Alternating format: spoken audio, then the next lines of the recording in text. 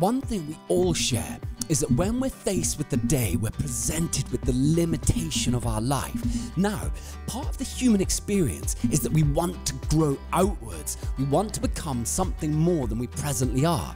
The problem is that the limitations of our life feel like roadblocks, and we get down because we feel we don't have the tools to overcome that which we find before us. When I feel like this, I try to look the limitations in the eye and see how can I think differently about it. For me, the first aspect of this is to recognize that even though we want to push against limitation, it is in fact an inherent part of the human condition. As such, instead of the fantasy of pole vaulting it, it's more instructive to dig deeper into it. So, have a conversation with your limitations and ask them, what opportunity are you affording me? It may seem obvious when our life has momentum, but the first thing we forget when we're stuck is that every inch forward we've ever made in our lives has been forged out of leaning into these limitations.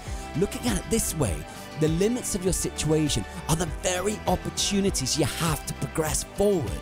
As Kierkegaard put it, face the facts of being what you are, for that is what changes what you are.